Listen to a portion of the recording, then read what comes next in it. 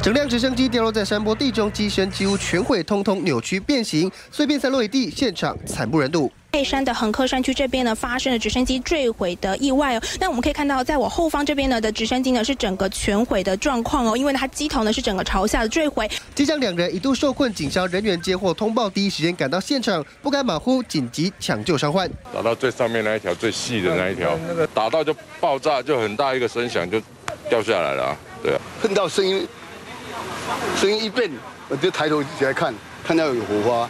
二十二号中午十一点多，新北市泰山区泰林路三段附近山坡传出林天航空直升机坠落意外，疑似因为清洗电塔不慎卷到高压电线坠毁。机上两名三十岁男性患者到院前皆已明显死亡，分别送往林口长庚、卫福部台北医院，最后还是回天乏术。直升机是台电所委托在啊清洁这高压电塔的直升机，所以现场可以看到直升机有一个很长的长杆呐哦，那有呃研判也有可能是在作业的时候不慎去可能勾落或者掉落。失事。今天航空时常在脸书贴出准备出任务的照片，还曾经参与看见台湾的拍摄工作，相当吸睛。对比如今模样，完全面目全非。只是意外到底怎么发生的？怎么会卷上高压电线？还有待警消调查厘清。记者新北市综合报道。